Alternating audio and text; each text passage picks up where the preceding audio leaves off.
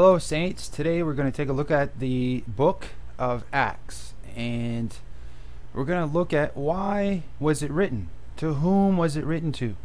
How does the book of Acts apply to and for us today? All questions that we need to answer, and if we're going to be good stewards of the faith, and the only way we can do that is by rightly dividing the Word of God accordingly understanding the book of Acts is really the foundation to understanding how dispensations work and what is meant by right division. And these things are very important to understand first if you're ever going to understand the Bible. Now, the book of Acts forms a bridge between the Gospels and Paul's epistles. And out there, almost every commentator on the book of Acts maintains that its purpose is to show and tell the story of the, the birth and growth of the church. And this is a false assumption. While the birth of the church is found in Acts, though not in the way most think, Luke's purpose for writing Acts was actually far different. The goal of this study is to examine the text and the structure, and by doing that, we'll uncover some of the answers to the questions. Now, first, we look at the author of the book of Acts, and we know it's uh, the disciple Luke. The same Luke whose name titles the book of Luke. So, one of the four Gospels. In fact, examination of the book of Acts reveals that the author could have titled it Second Luke because Luke records the kingdom program, the dispensation of law slash kingdom leading into the mystery the secret yet to be revealed by the Apostle Paul, the gospel of grace, our gospel for today. So, the book of Acts then is a book of actions that took place during the transition of dispensations from one, uh, the first dispensation of law, and over to the the their com- uh, coming kingdom, and then it jumps over to the dispensation of grace the gospel of Paul revealed to him by our Lord Jesus Christ himself. Now, the beginning the beginning of Acts, we still see the gospel that Jesus and the 12 were preaching. It records much of what Peter says, okay? During the early part of the transition. We see early on in Peter's sermons that the book of Acts began with great hope for the nation of Israel and we see the tragedies which took place as well. Now, the nation of Israel commits a terrible sin in crucifying Jesus, their Messiah, their King. But a wonderful thing happens Jesus Christ rises from the dead. So hope remained. They still had time to repent, to receive the kingdom under the reign of Christ Jesus. Now, although it may seem that once Jesus was killed, it was all over for the promise of the earthly kingdom. But that's not the case. They still had a chance.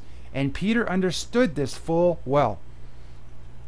Peter addresses the nation of Israel in Jerusalem on Pentecost. Remember, in Acts 2, Peter is still offering the king and the kingdom, and there's still an opportunity to repent and usher in their king, our Lord Jesus, and their Messiah Jesus. Now, at this point, it's extremely important to understand who Peter is addressing here. Peter is addressing the Jews, not the Gentiles. His message is exclusively to and for the Jewish nation. We see this in Acts 2:36. Therefore, let all the house of Israel know assuredly that God hath made the same Jesus whom ye have crucified both Lord and Christ. And we see the response in the next verse in 37. Now, when they heard this, they were pricked in their heart and said unto Peter and to the rest of the apostles, Men and brethren, what shall we do? Then the next verse at 38 Then Peter said unto them, Repent and be baptized, every one of you, in the name of Jesus Christ, for the remission of sins, and ye shall receive the gift of the Holy Ghost. Now, you'll notice at times when studying God's Word, it's just as important to note that what it doesn't say versus what it does, does say. What's missing is a clue. Okay? Now, notice here, Peter does not say that Christ had died for their sins and rose from the dead. and all they had to do to be saved is believe in the gospel. Peter doesn't say that. Instead, Peter continues to preach their gospel of the kingdom to repent, be baptized, the same gospel that John the Baptist was preaching earlier on. In verse 38, Peter says to them, Repent and be baptized, every one of you, in the name of Jesus Christ, for the forgiveness of your sins, and you shall receive the gift of the Holy Spirit. Notice what Peter is declaring here. He says that in order to receive forgiveness and the Holy Spirit, they had to repent and be water baptized. Both repent, repentance and baptism were required under the dispensation of law slash coming kingdom to receive salvation. But notice this is under the kingdom program before the grace program is even revealed once Saul is converted to Paul. Now, take a look at the kingdom program, the gospel here that Jesus says in Mark 16 16. He that believeth and is baptized shall be saved, but he that believeth not shall be damned. Again, in John 3 5, Jesus answered, Verily, verily, I say unto thee, except a man be born of water and of spirit, he cannot enter into the kingdom of God. In Matthew 3 1 through 6, and in those days came John the Baptist, preaching in the wilderness of Judea, and saying, Repent ye, for the kingdom of heaven is at hand. For this is he that was spoken of by the prophet Isaiah, saying, The voice of the of one crying in the wilderness, Prepare ye the way of the Lord, make his path straight. And the same John had his raiment of camel's hair and leathern girdle about his loins, and his meat was locust and wild honey.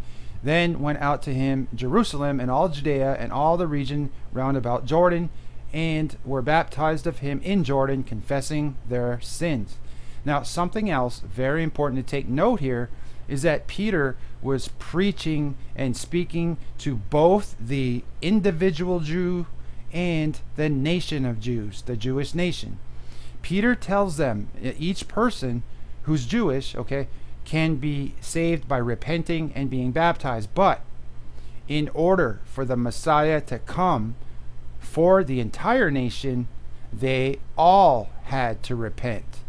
There needed to be a national repentance. In other words, every single Jew had to obey to usher in their earthly kingdom.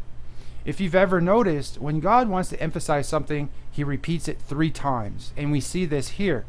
It's part of the structure of Acts. There's three rejections of the king by the Jews. In Acts 4, we see a threat by the Sanhedrin. In Acts 5, we see the imprisonment by the Sanhedrin. In Acts 7, we see execution by the Sanhedrin. Again, we see three rejections of the king under Paul's ministry in Acts 13, Acts 18, and Acts 28.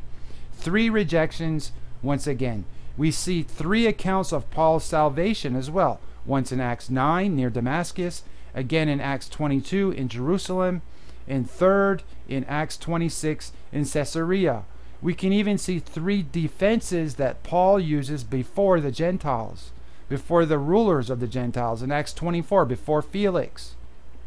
In Acts 25, before Festus in Acts 25 again before Agrippa and Bernice. In order to understand the book of Acts, it's easier if you divide it into three sections. The first section, Acts 1 through 8, is all about the 12 and the assembly at Jerusalem. The gospel of the kingdom is preached to the Jewish nation, and there's nothing about Gentiles here whatsoever, just the Jews and their nation.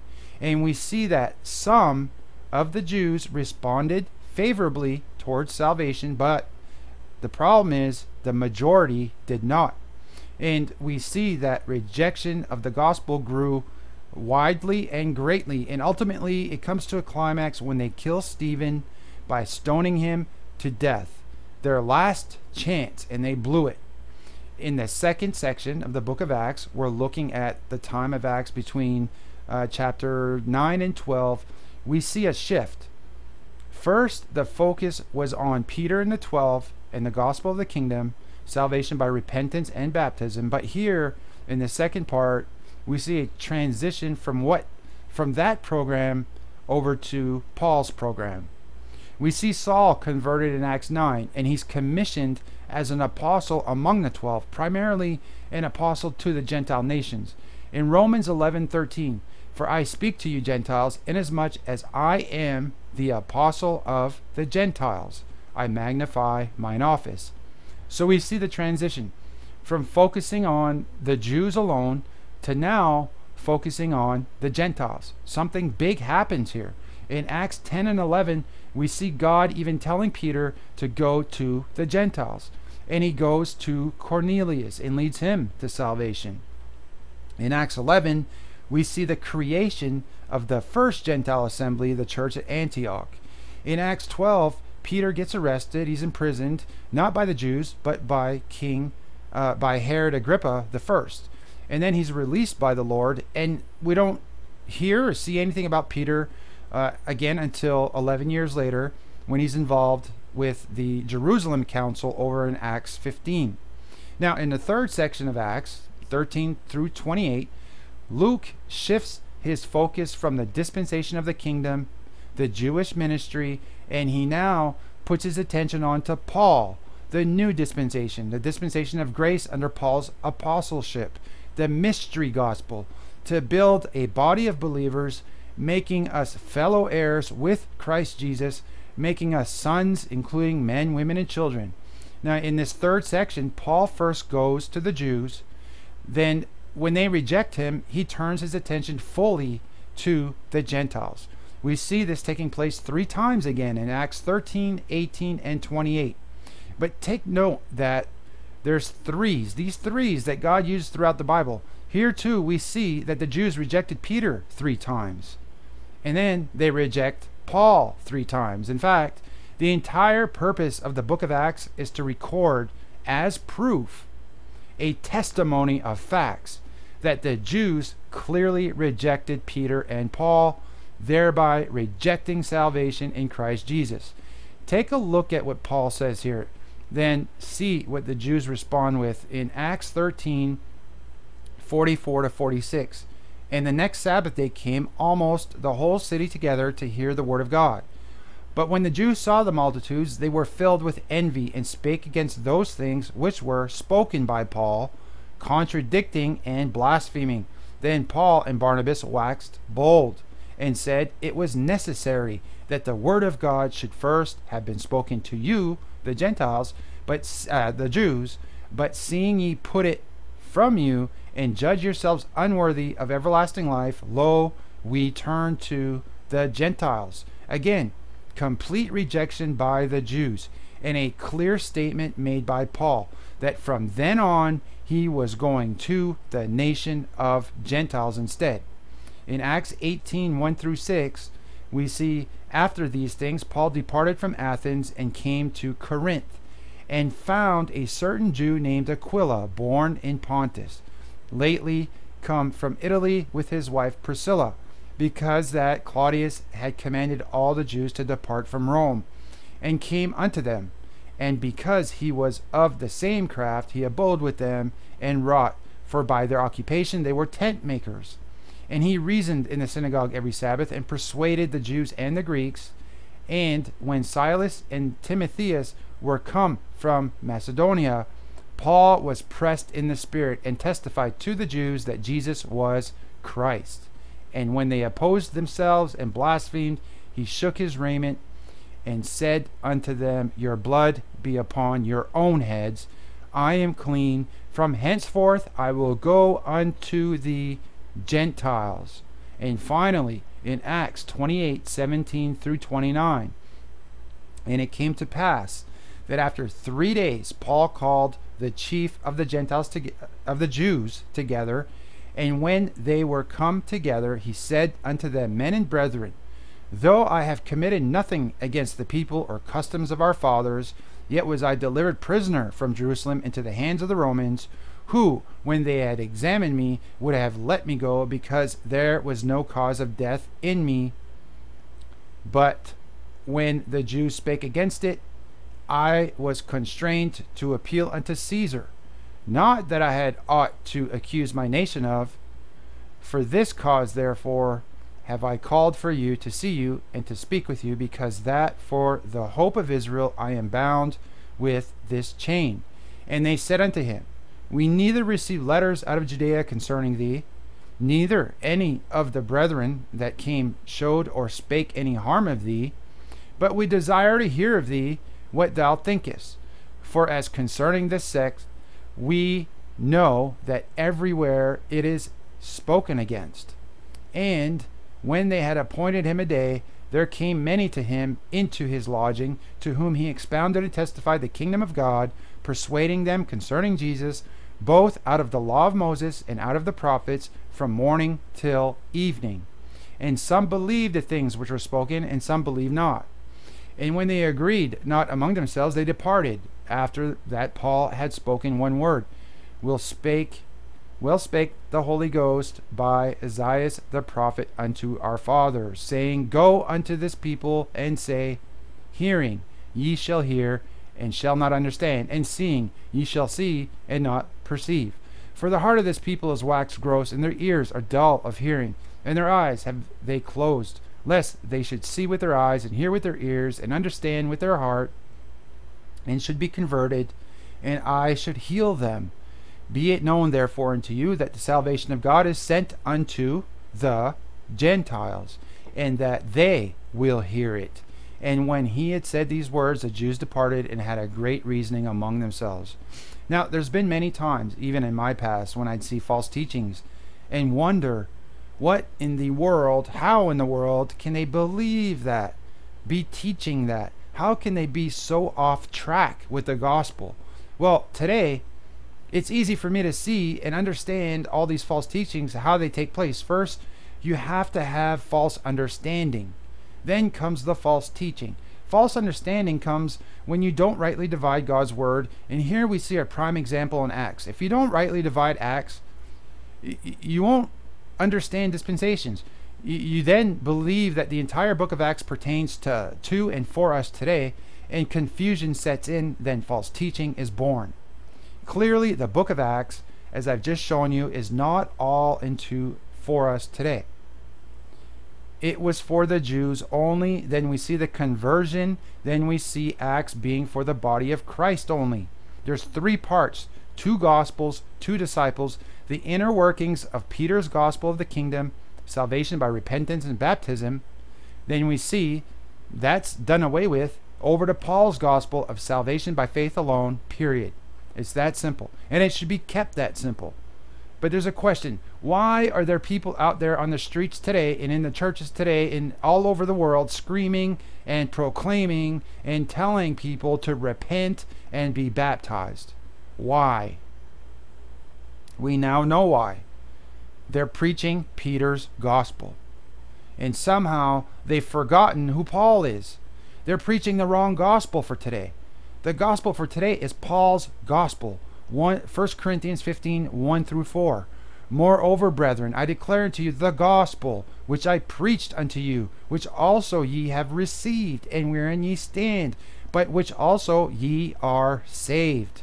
If ye keep in memory what I preached unto you, unless ye have believed in vain, for I delivered unto you first of all that which I also received, how that Christ died for our sins according to the Scriptures, and that he was buried, and that he rose again the third day according to the Scriptures. And then he was seen of Cephas, then of the twelve. Listen, the purpose of Acts is not to record the birth of the body of Christ, although it does, but that's not the purpose for Acts. The purpose of Acts is to record the downfall of the nation of Israel. What happened? How they rejected their Messiah. How God gave them still these all these last chances to claim the earthly kingdom by national repentance. Then we see the repercussions of them not doing that. They refuse to repent. God sends them aside, He sets them aside, and then God turns to Paul, sending him as the apostle to the Gentiles. And when the fullness of the Gentiles is made complete, God will then revert back to the nation of Israel.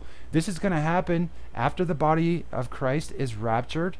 It will happen during the 70th week of Daniel, what's commonly called the tribulation period. This is where God turns back to the Jews, folks. And it has nothing to do with us today. We're going to be gone at that point. When Israel repents at the end of the tribulation period or Daniel's 70th week, when they call out to Jesus Christ as their Messiah and they believe, then Jesus will come back to set up the kingdom of heaven on earth.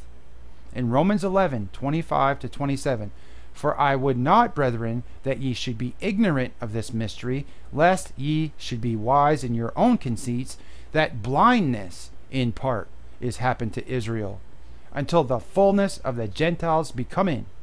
And so all Israel shall be saved, as it is written, There shall come out of Zion the deliverer, and shall turn away ungodliness from Jacob. For this is my covenant unto them when I shall take away their sins. Now, in closing, the book of Acts is a bridge between the dispensation of the law and their coming kingdom over to the dispensation of grace, the gospel of salvation by faith alone, Paul's gospel. While Peter's gospel concentrated on the earthly kingdom, Paul's message had nothing to do with the earthly kingdom. Paul's gospel is all about the heavenly kingdom not the earth. The Jews will inherit the earth. The nation of Israel will inherit the earthly kingdom, the earth, and the body of Christ. We will inherit the heavenlies, the heavenly kingdom. Two locations, two programs, two destinations, two different entities entirely. It's important you understand this. Also, I want to point out here that none of the disciples were Gentiles, including Paul. Luke was a Jew. Paul was a Jew, Peter was a Jew, and so on and so on. Not one was a Gentile. There's confusion about this. Some still think that Paul was a Gentile, and now they're even claiming that Luke was a Gentile, and I've even heard some claim that John was a Gentile. No, none were Gentiles. All were Jews. So I hope this clears up for some of you out there who might be, have been struggling with the book of Acts understanding that the book of Acts is a bridge from Peter to Paul, from one program to another, and we're in Paul's program today, not Peter's. This clears up some confusion, and the only way we can do that is by right division. It is the key, once again, folks. Thanks for studying with me. Love, peace, grace, and Christ Jesus be with all of you out there, and I'll see you on the next video, Lord willing.